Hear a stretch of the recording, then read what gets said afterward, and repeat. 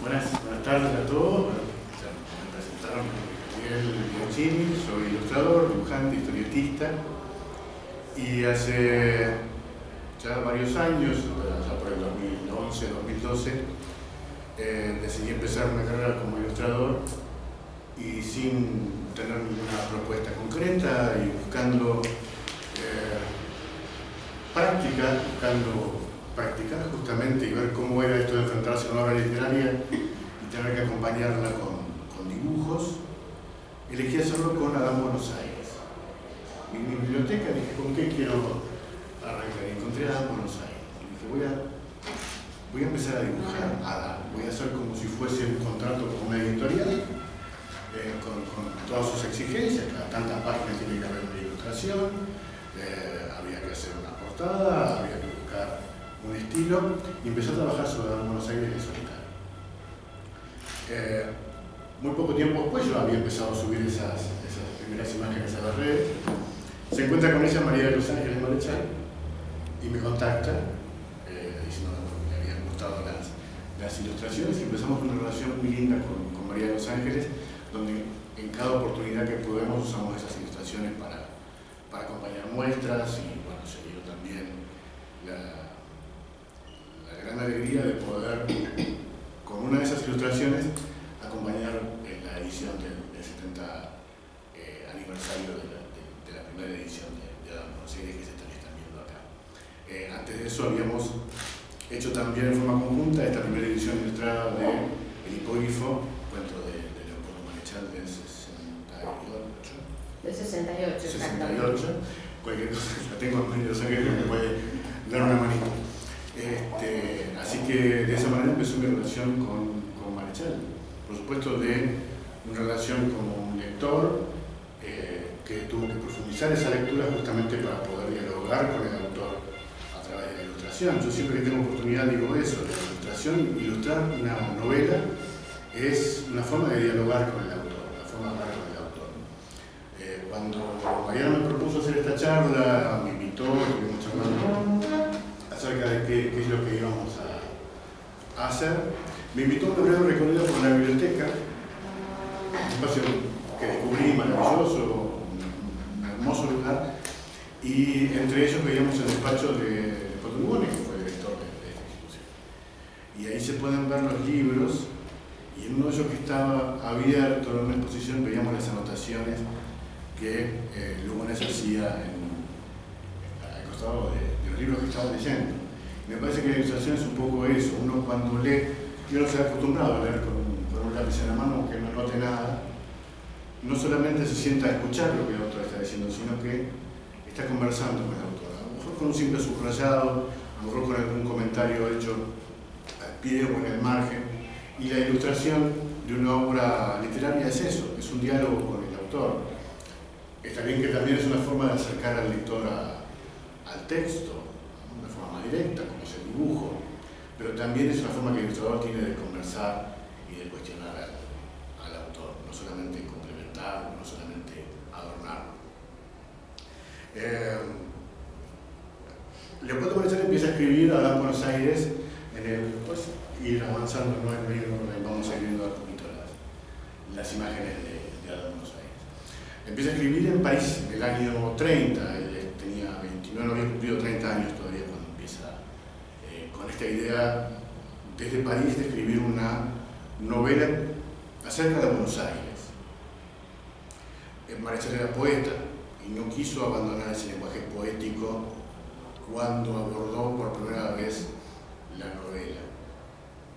Y eso produjo un, cuestionamiento, ¿Cómo, cómo iba a abordar una narrativa él que se consideraba esencialmente un poeta y recurrió a la epopeya clásica.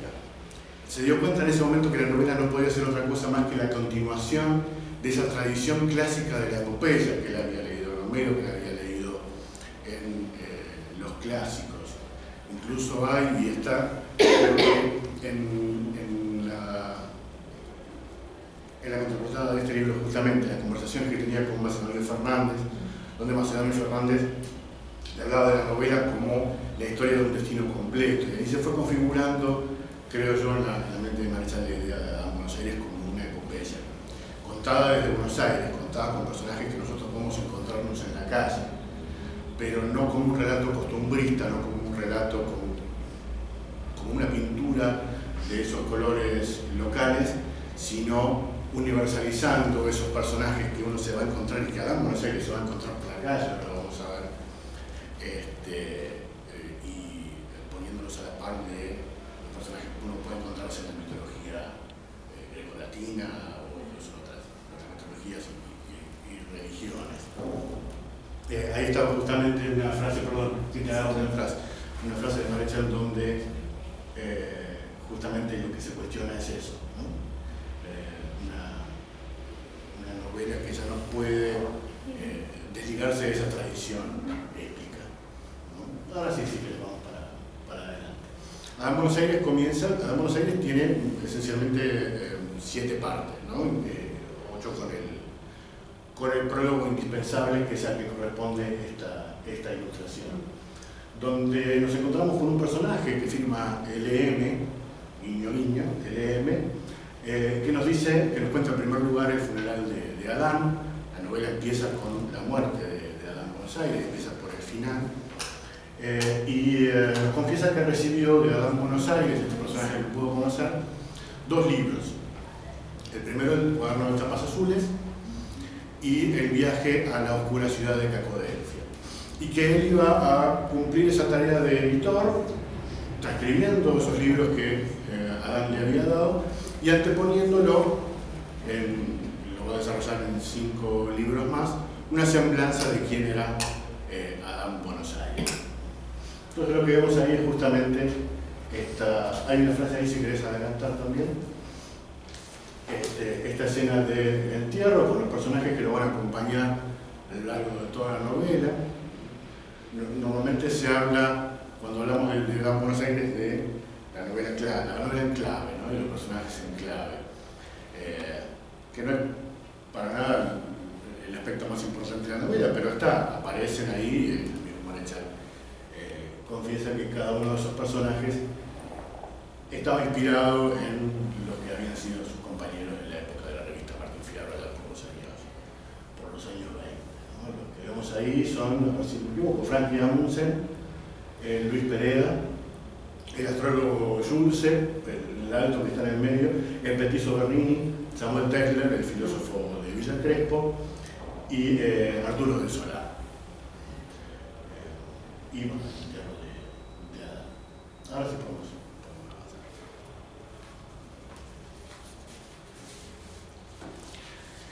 Después, inmediatamente del, del prólogo indispensable, tenemos el primer libro que va desde un jueves 28 de abril en que Adán despierta en su habitación de pensión eh, hasta que eh, sale a la calle y, empieza a caminar por, por la calle de Montemont. Y lo primero que hace Adán al despertar, y se habla del despertar metafísico de Adán, porque en, esa frontera en la que el personaje está y se nos describe entre el sueño y la vigilia, se le empiezan a aparecer no solamente los objetos que tiene alrededor de su habitación, sino también los sonidos que le van llegando de la calle. Como buen Adán los va nombrando eh, y de alguna forma también los va creando, ese es el sentido del despertar metafísico, habla de un, este, un plato de barro con varias granadas, la granada también es un, es un símbolo que aparece mucho en la iconografía religiosa, un símbolo de la, de la fecundidad, de la generación, una rosa trasnochada, las pipas, como fumador de pipa, y, el Marechal que también lo tenía, no solamente tenía una pipa, sino que tienen varias este, para, la semana, unos libros. eh, y en esa ilustración lo que quise hacer justamente es eso, es poner todos esos elementos, en primer plano la rosa y, y Adán despertando, y tratar de alguna forma de indicar todos los sonidos que le llevaban de la. Irma, que estaba barriendo la vereda y, cantando, un diálogo de una vecina con un, con un los chicos que juegan allá la pelota, y muy al fondo las, campanas de, la iglesia de, San Bernardo. Esto, como decía, comienza un 28 de abril. La novela arranca un jueves y abarca los tres días siguientes, justamente un jueves santo, que tampoco es eh, nada casual que lo sea. ¿No? va a hacer, Adán Buenos Aires va a hacer un, viaje espiritual, un viaje de desarrollo espiritual. Eh, así donde lo vamos a ver caminando por la calle, en realidad eh, tenemos todo el tiempo esa sensación de, la ética de la epopeya, que en realidad no es lo que hacemos nosotros cuando salimos al espacio de sino que es un viaje iniciático del héroe que está haciendo Adán cuando recorre esa clase de, de Todo comienza acá. A propósito de esto, eh, si les gusta la novela, si les gusta Buenos Aires, supongo que sí, porque están acá, eh, todos los años se hace cerca del 28 de abril, que es la fecha donde arranca la novela, normalmente es el sábado más próximo, ¿no es cierto? Sí. Se hace el día de Buenos Aires bueno, nosotros, nosotros nos conocemos ahí. Eh, es un día muy especial, arranca eh, una visita guiada, es, gratuito, lo pueden hacer, De acompaña.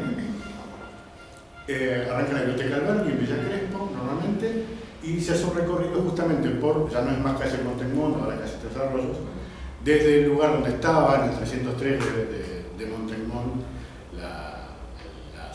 pensión de Adán Buenos Aires, que justo enfrente estaba la casa de la infancia de, Leopoldo Marechal en 280, 180 de, lo que hoy es calle Tres eh, y se hace un recorrido por los distintos lugares por los que atraviesa el, personaje. Algunos hay que imaginárselo porque ya no están, otros tampoco tenemos mucha certeza de si eran reales o no, pero que, existieron y estuvieron eh, por ahí, incluso pasamos por el frente de lo que anteriormente era la septiembre, septiembre que la novela se llama la septiembre eh, universal, en realidad era la federal. Y es un pequeño mío también de Marechal diciéndonos en realidad lo que está pasando no está pasando solamente en Villa Crespo, esto tiene que ver con lo mitológico, con lo universal. Cada vez que puede hablar de la novela, Marechal nos, va tirando esas cositas que, que tienen que ver con esa intención que él tiene universalizar lo, lo cotidiano.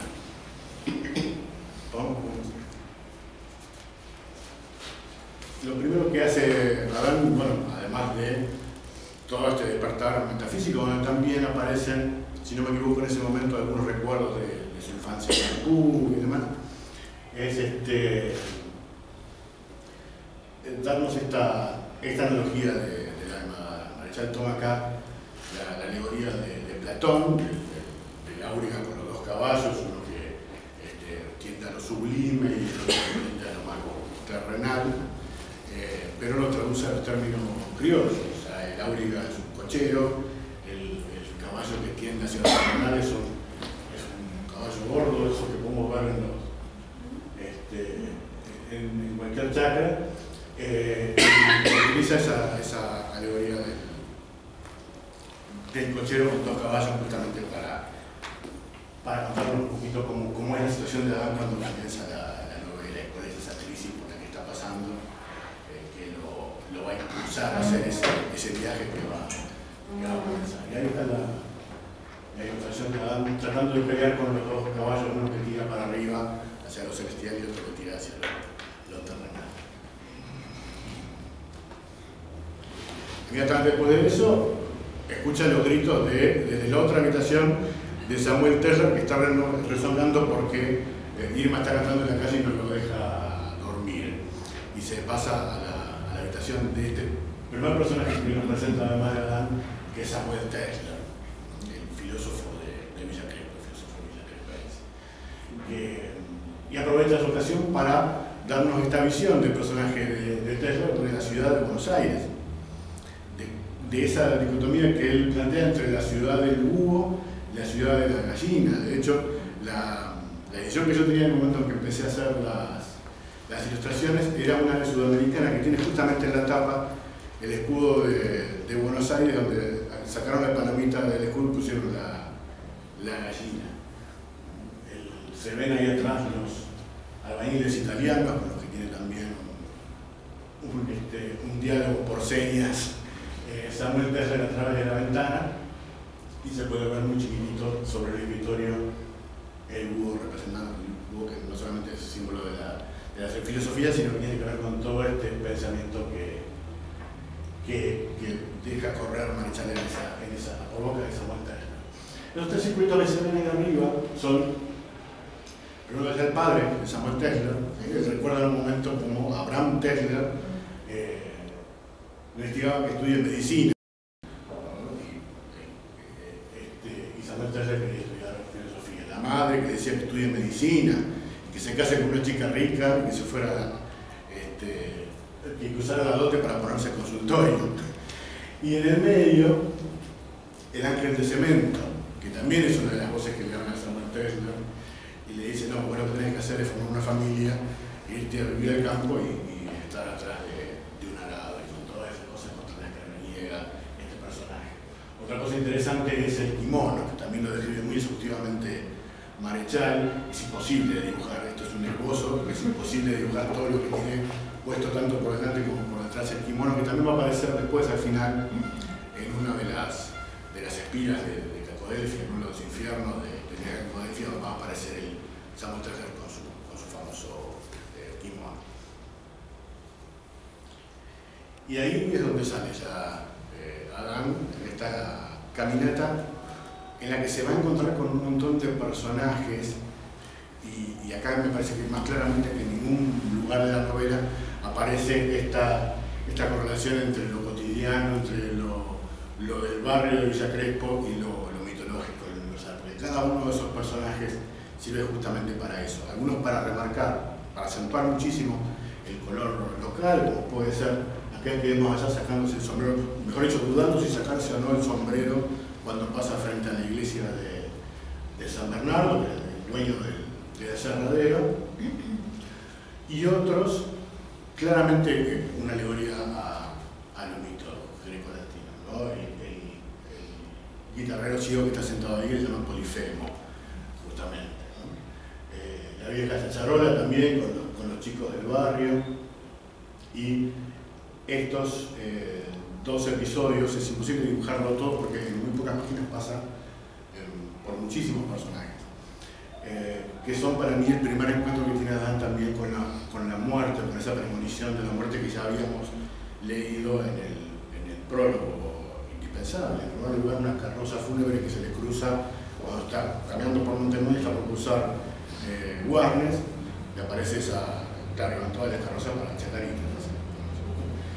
Y le aparece una carroza con las siglas RF y se pregunta quién será este RF. Y ahí en, la pizzería, la nueva estela de Posilipo, los cocheros, también con sus carros fúnebres estacionados, que están jugando al, al truco. Eh, también tiene esto de que las anticipación de la muerte, las premoniciones de la muerte van apareciendo a lo largo de ese recorrido del héroe que es, que Buenos Aires.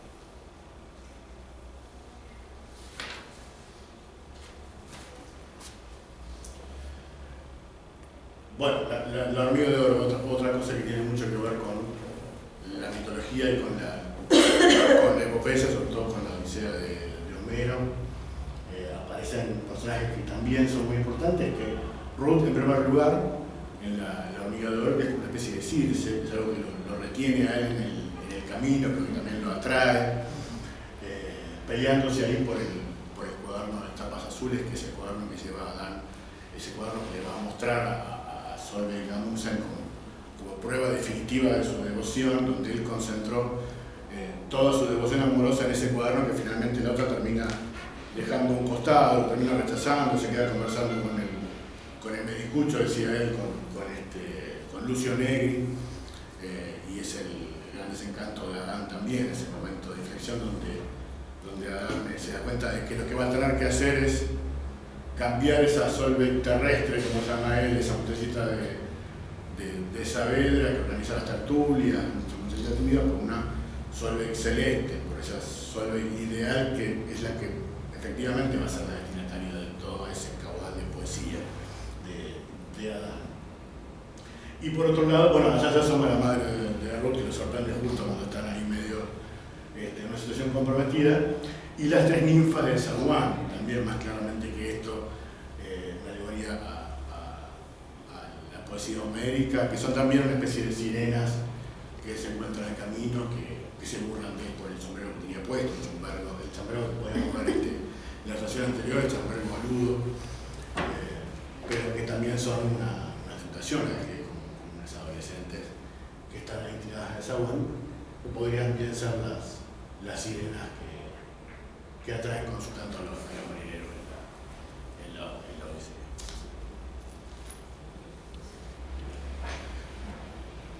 Adán Buenos Aires, lo puedo marchar, plantea entonces como eh, el simbolismo, de, hablaba del simbolismo del viaje, como, como de héroe, y también utiliza, y también aparece muchísimo en eh, la, las epopeyas griegas, el simbolismo de la guerra. De la forma más inesperada aparece Adán Buenos Aires. Cuando ya está llegando al final de su recorrido, ve que hay un alboroto, y lo que pasó es lo siguiente estos dos muchachos, Yuyo y no me acuerdo el nombre de, del otro, eh, y Juancho, Juancho, Juancho, Yuyito y Juancho, discutiendo de fútbol, se empiezan a pelear y uno le tira una pedrada al otro. La pedrada va a dar contra la vidriera de, de la verdulería, de la buena fortuna, y se arman otro alboroto porque intervienen las madres, de a poco se van incorporando también a la pelea de los vecinos y terminan una, una guerra campal que se interrumpe solamente al final del libro, este, cuando interviene la policía. Pero lo interesante de toda esta guerra es que junto a eh, doña Filomena y doña Gertrude, que son las madres de estos muchachos, que terminan peleándose entre ellas y terminan echándose en cara un montón de cosas que tienen que ver con el periodo de barrio, están Juno y Minerva, los nombres romanos de, de, era de, Atenea, cada una susurrándole al oído a la otra eh, las cosas que tiene que hacer, incluso eh, menciona Marechal que la piedra que fue a parar a la, a la vidriera la desvió Juno. Eh, y esto es lo que pasa en la Ilíada todo el tiempo, ¿no? los, dioses que están interviniendo y, y este, influyendo sobre los hombres para, que, para manejar el destino de esa guerra. Y todo esto Marechal lo pone adelante de la verdulería, eso es.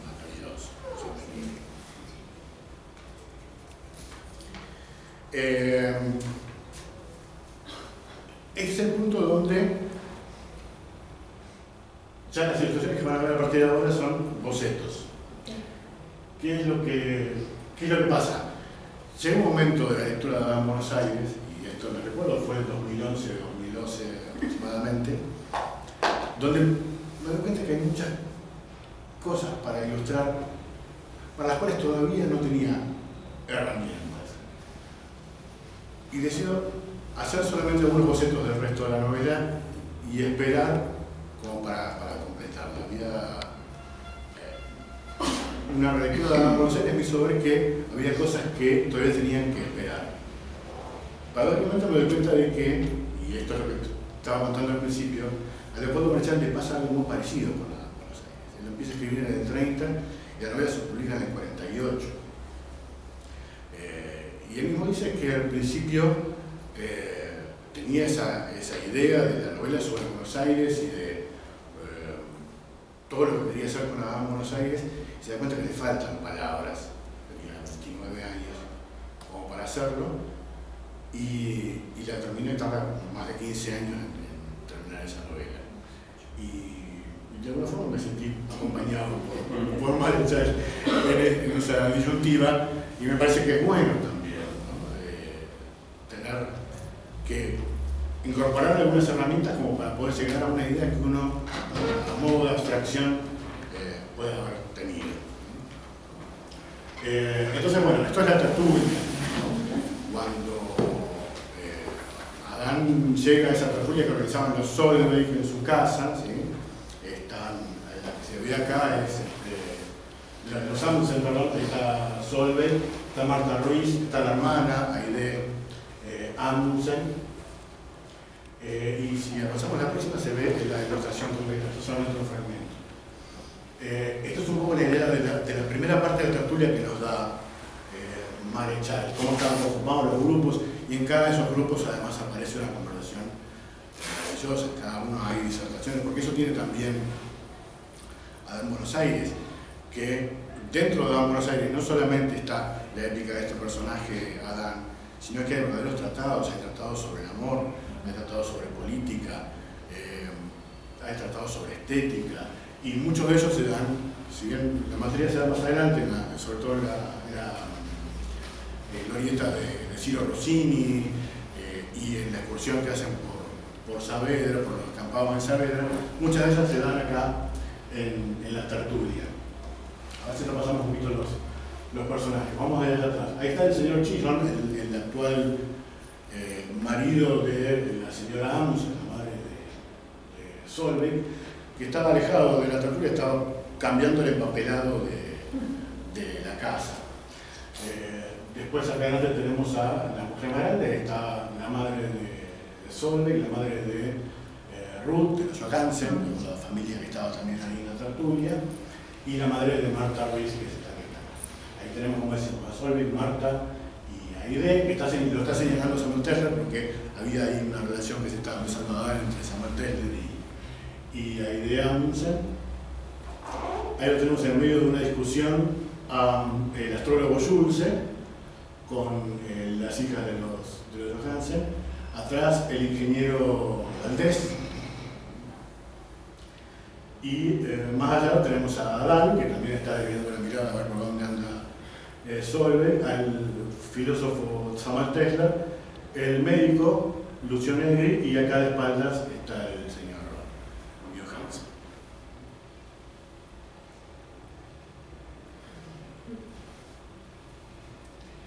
en medio de la, de la charla alguien le pide a, al astrólogo Schulze que hable del neocriollo. Había toda una cuestión en esa época, eh, no solamente en la 20, sino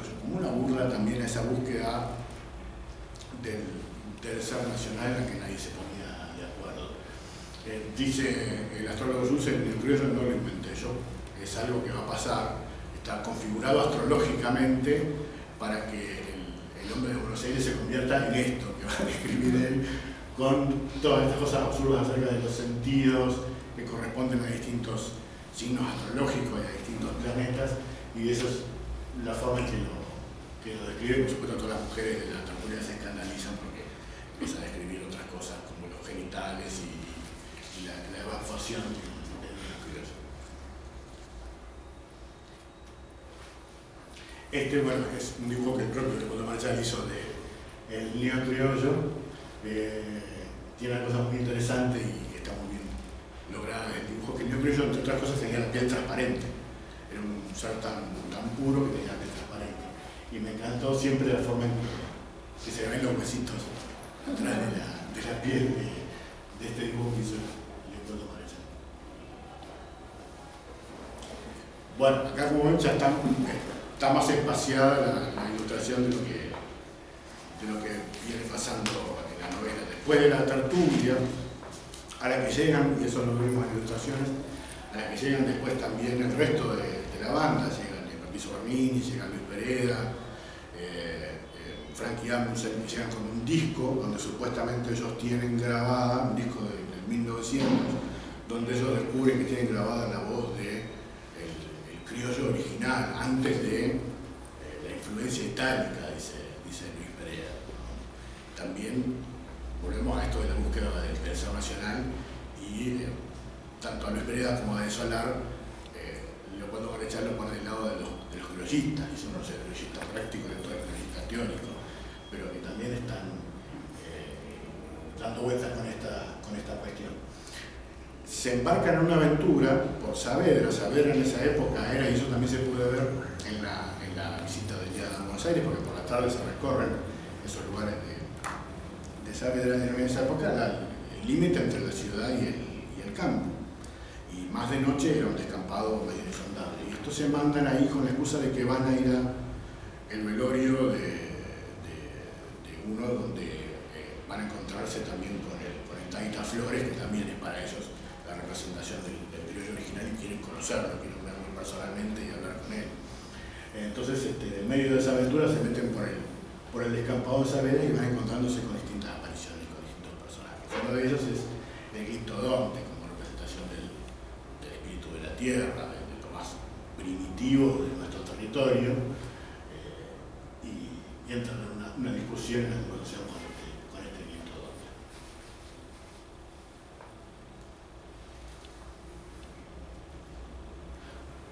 Pasada la aventura de Saavedra, vienen dos libros más. Viene el cuaderno de, tapas azules, que a su vez también está dividido en dos, en dos partes. Una primera parte que es la que Adán Morseis había escrito originalmente para mostrarle a Solve, y otra parte que él escribe supuestamente después de ese, encuentro.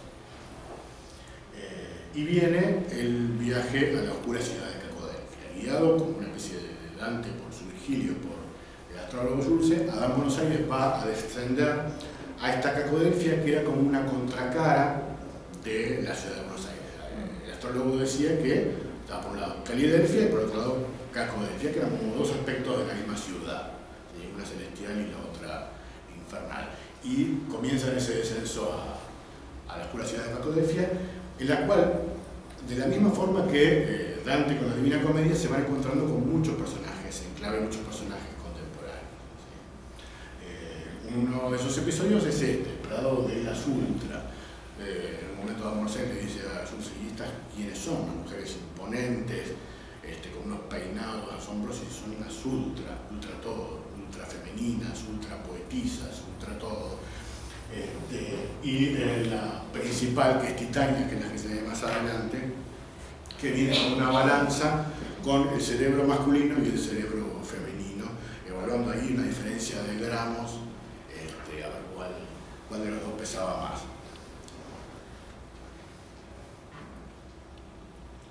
Otro de los, de los anillos del infierno que va visitando este, pasa por, por, muchos más, ¿no es cierto? El infierno de la gula, de la lujuria, de la avaricia, pero no eso se encuentra con eh, esta, este episodio de los hombres, los hombres diarios, ¿no? una especie de redacción donde los hombres van pasando, se ve ahí atrás, por una especie de, de rotativa, se, se, aplastan como diarios y después cuando se vuelven a tomar su forma humana, solamente para dar la vuelta y volver a entrar eh, del otro lado.